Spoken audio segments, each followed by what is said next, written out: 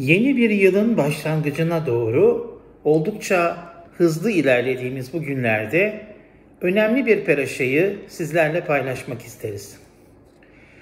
Uvav aleha kol berachot haele ve istiguha ki tişma bekol Adonai Elohecha. Ve sana bütün bu berahalar gelecek ve seni aşacak. Çünkü Tanrı'nın sesini dinledin.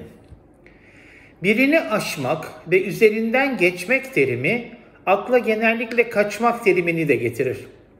Burada anlaşılması zor olan soru neden bir kişinin berahalardan kaçması gerektiğidir.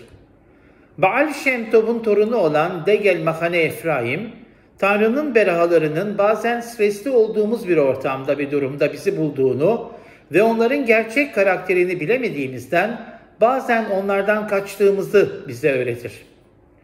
Tora bizlere Tanrı'nın niyetinin her zaman bizlere yaklaşmak olduğunu, biz ondan kaçsak bile onun bize yakınlaşmak istediğini söyler. Ahto vachesed yirdefuni kol yemechayay ve şavti bevet adonay le orech yamim. İyilik ve hesed yaşamının bütün günlerinde beni izler. Pasuğunun anlamı yukarıdaki ifade ettiğimiz anlam ve ifadeyle örtüşmektedir. Bizler düşük anlayışımızla gizli ve bilinmeyen ve kaçmaya çalıştığımız iyilikleri fark etmek için dua etmeyi bilmeliyiz.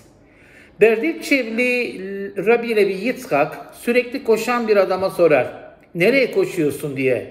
Adam da cevap verir. Parnasımın peşinde koşuyorum. Rabbi şöyle bir karşılık verir.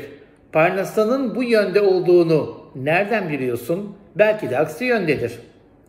Bazen küçük bir çocuk canını yakacağını bildiği bir iğneden kaçmak için elinden geleni yapar. Ancak annesi bu konuda çocuğun iyiliği için doktorla işbirliğine hazır olmalıdır. Belki o anda canı yanacaktır. Ancak o iğne çocuğu çok daha büyük acılardan koruyacaktır.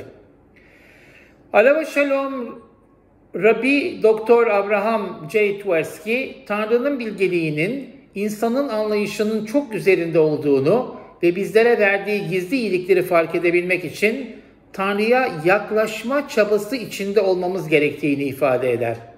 Bazen Tanrı'nın bizlere verdiği iyi şeyleri yanlış algılar ve bizim için sıkıntı yaratacaklarını zannederiz. Halbuki bizim için her zaman en iyisi, en iyisini isteyen Tanrı bizlere berahasını her zaman ve her yerde vermeye hazırdır. Yeter ki bizler Tanrı'ya yakın olmayı bilelim. Bu sene ve her sene Yüce Tanrı bütün sevdiklerimizle hepimizi yaşam kitabına yazarak buna onay versin. Bir kez daha Şabat Shalom.